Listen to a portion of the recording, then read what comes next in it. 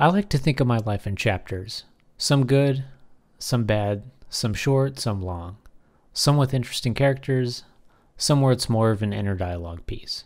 The worst is when you start to feel you're in the moment and you notice it start to fade. It fades like the buzz of one too many drinks on a night out with friends. You want it to go on forever, but you know it can't. This is a 1967 Leica M4. The word Leica is a combination of Leitz, camera, and the letter M stands for Messsucher, which is the word rangefinder or measurement search in German. The M4 has a 0.72 magnification viewfinder, which has bright frame lines for 35, 50, 90, and 135 millimeter. Never has a film camera made me run through a roll of film as quickly as this. It's weird to think how everyone wants to reach for a camera or something to capture a moment as if to prove you were there. This camera is pre Botox and Brazilian butt lift.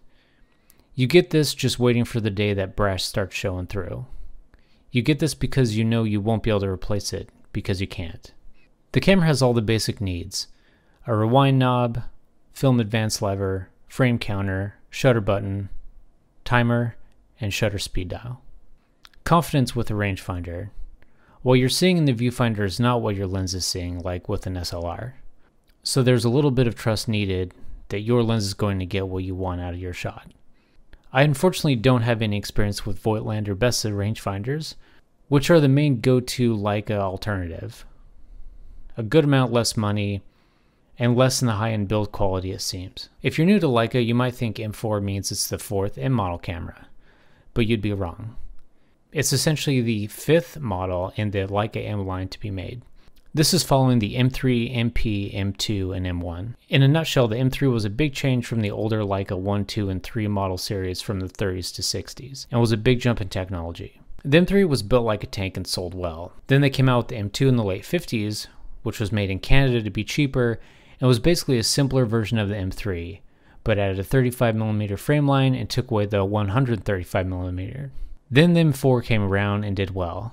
They stopped to make the M5, which did so badly, they brought back the M4 again. The M4 added an easier to load film system, which meant you didn't have to feed the end of the reel into a spool and then load it into the camera.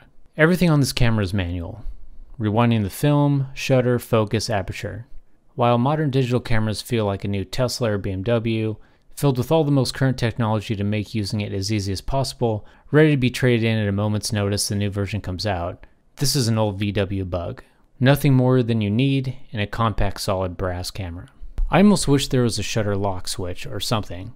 I don't like not advancing the film after a shot, but on a few times I've accidentally snapped one off. The only major downside of this camera that I'm aware of is the rewind knob. While the angled one featured on this as well as the M6 and M7 make for a quicker rewind, there are reports that the metal parts can be bent as opposed to the straight ones found in the older M3 and newer MPs and MAs. Focusing the Leica is the same as other rangefinders, also like the Fuji GW series. Basically, you have a small rectangle or patch, you move the focus until it lines up with what you're looking at. Why don't I have a Leica lens on a Leica camera? Well, I don't have the one to two thousand dollars lying around at the moment. And from my research, the Voigtlander and Zeiss M mount lenses give you 80 to 90% of the same quality as a Summicron lens for about 30 to 50% of the price. But one day I will own that 35mm Summicron. It will be mine. Oh yes, it will be mine. Will this camera make you a better photographer? No. Will it get you a few more likes on your Instagram posts with this featured? Maybe. This is a great camera, but I'm not sure the Leica M cameras are totally worth the hype. Their build quality is second to none, but I see some similarities between Leica and Apple. Both are solid products, or used to be, but the name and the myth that goes along with them often softens the edges of new or never fixed issues.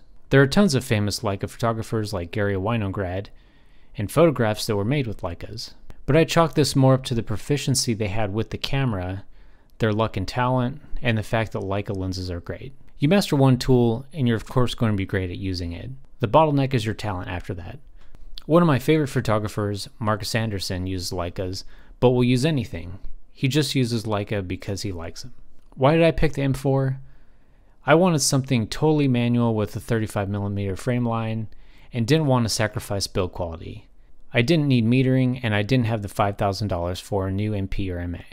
On dark days filled with foul weather and memories you wish you could leave at the bus stop, there is no way to get rid of those bad memories. You take photos because it's something to take with you, a filtered moment of time with you as the director. The world doesn't stop for you, so you take that picture to bookmark that moment.